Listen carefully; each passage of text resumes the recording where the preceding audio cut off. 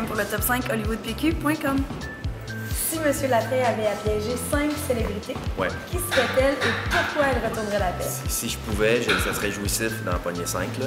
Euh, je te dirais Janine Suto. J'aimerais ça en maudit la poignée. Euh, probablement Daniel Pinard. Pourquoi? Je sens que j'aurais du fun avec lui. Je sais pas pourquoi, ça, ça fitterait. Euh, Mario Tremblay, ça me ferait rire de le pogner. Comique, hein? Ouais, il y a comme un beat pas pire comique. Euh, je dirais Paul Arcand. Ouais, j'aimerais ça en pogner un, un peu plus coriace, là, tu sais. Puis, euh, pour faire...